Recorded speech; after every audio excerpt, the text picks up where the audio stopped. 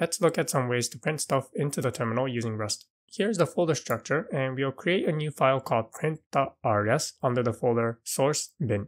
I'll open my code editor and inside source bin, let's create a new file called print.rs. The reason why we're creating a file under source bin is so that this file can be executable. I'm going to first turn off some warnings by typing hashtag exclamation mark brackets and then say allow unused.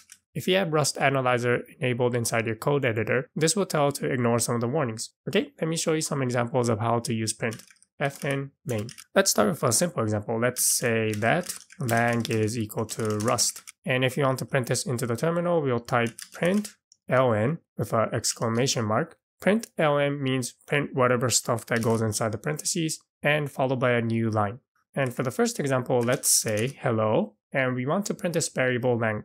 The way you would do this is put a curly braces, and then outside this double quotes, you'll put the variable lang. And if you have two variables, then you might do something like this. And then, so here you will need to pass in two variables, lang and lang. For variables, you can also do a shortcut. You can inline the variable. So here, instead of putting the lang over here, you can put it inside the curly braces, lang. Okay, let's try running a simple example. So inside my terminal, I'll type cargo run dash dash bin.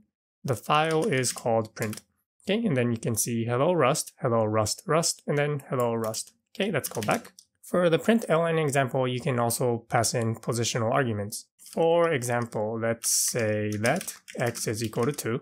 And then let's say we're going to print out the multiplication of x by itself. So print ln, want to say something multiplied by something is equal to the product of x multiplied by x. So what you would do over here is let's say for the first input, we'll put in x, and for the next input, we'll put in an x again, and for the last input, we'll put the product of x multiplied by x. And over here, after the double quotes, we put in x and then x multiplied by x. The zero over here refers to the first input after the double quotes, and the one over here refers to the second input after the double quotes. Here we're using positional arguments to say that for here, put in the first input, and for here, put in the second input.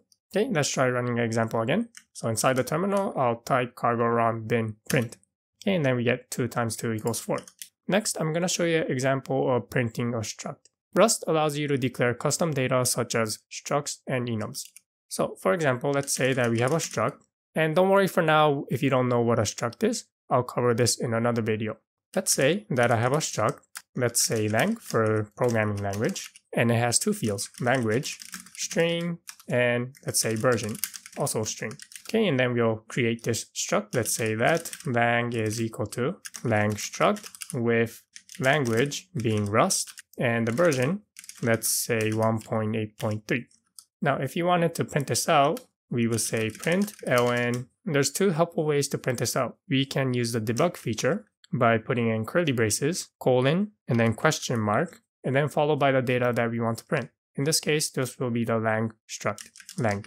Now, if you try to save this, you'll get a compilation error saying that lang does not implement debug.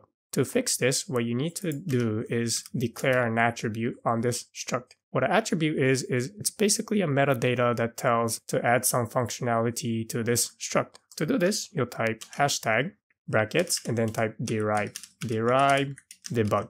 This will tell Rust to auto-generate a code so that this lang struct can be printed out nicely. And now you'll see that the error is gone. Another way to print this lang struct is to use a variation of this. And this is over here, you put another hashtag.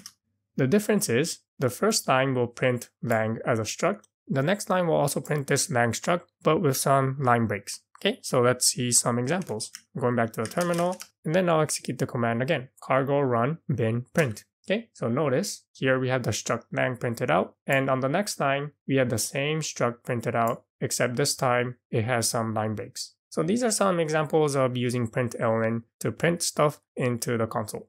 Now before we end this video, I'm going to show you one command that's going to be helpful when you're writing Rust code. The command is called cargo format, cargo fmt. What it will do is it will format your code. So let's say that we have some bunch of line breaks and maybe the indentation is off. if you run this command cargo format inside the terminal, this will fix your code so that indentations will be fixed and unnecessary line breaks will be removed. Now I have my code editor configured so that cargo format will run every time I save this file. So if I save this file, you'll see that the unnecessary line breaks are removed and the indentations are fixed. You can also run this inside the terminal. Inside the terminal, you can say cargo fmt. And this will format all of the code inside this hello rust folder.